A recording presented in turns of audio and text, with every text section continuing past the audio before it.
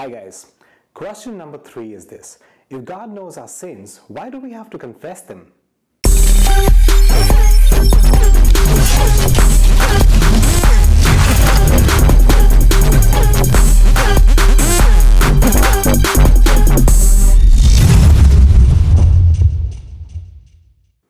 We go to confession to say, I'm sorry for our sins, not to tell God something He does not already know.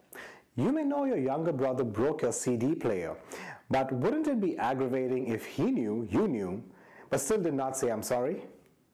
It would be a double slap in the face.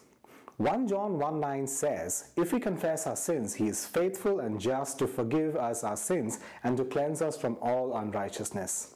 As mentioned in CCC 1469, in addition to saying sorry to God, confession also reconciles us with the church. There is no such thing as a private sin. Every sin affects the world in a negative manner. There is always a ripple effect. Sin damages or even breaks the communion we have with the other members of the church.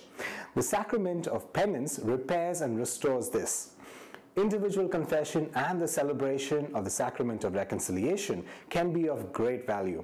Naming the tendencies or habits that cause us to drift from that relationship may be the beginning of a process of our recentering our thoughts and actions on God.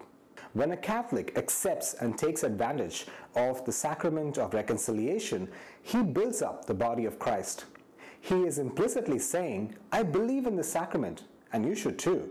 This affirmation of the sacrament can lead others to live a sacramental life. Thank you guys. Stay blessed.